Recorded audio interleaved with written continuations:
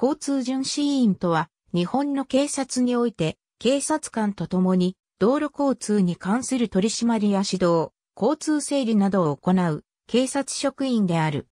現在では、廃止され警察官に統合された都道府県もある。道路交通法第114条の4に定められた警察職員である。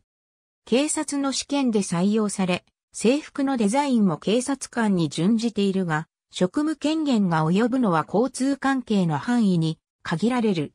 また警察官のような階級はなく、警察官の階級章と類似したデザインの交通巡視員章を制服の左胸に着用する。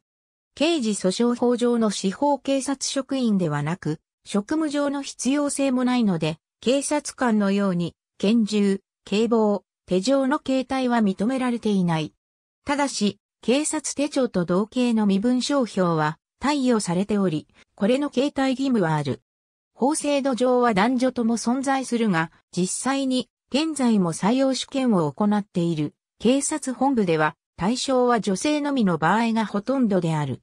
前述の通り、警察官に統合し、事実上の職種の廃止を行った警察本部も多い。基本的に職務上の法的執行力を持つのは交通整理、歩行者、自転車への指導及び中停車違反関連への反則告知だけである。捜査権を付与された司法警察職員ではないため、刑事捜査など強制的執行は職務としては行わない。違反者が抵抗した場合は、警察官が執行に当たることとなる。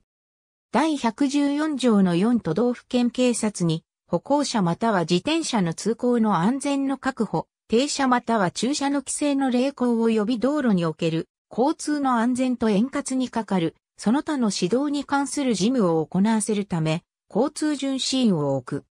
2交通巡視員は、全校に規定する事務のほか、自動車の保管場所の確保等に関する法律の規定による自動車の保管場所の確保の励行に関する事務を行うものとする。3交通巡視員は、警察法第55条第1項に規定する職員で政令で定める要件を備える者のうちから警察本部長が命ずる。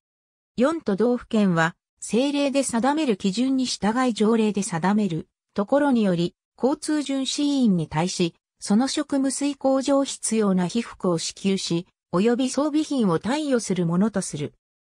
道路交通法、警察官の階級章との違いは、台の上に階級表示の短冊版ではなく、交通腕章と同じ、緑の地に白線2本であること入国警備官や税関職員のように、刑事訴訟法上の司法警察員ではなく、司法警察権を持たなくとも、職務の性質上から武器の形態や使用が認められている職種がある。交通巡視員の複製に関する規則では男女両方の制服が定められている。ありがとうございます。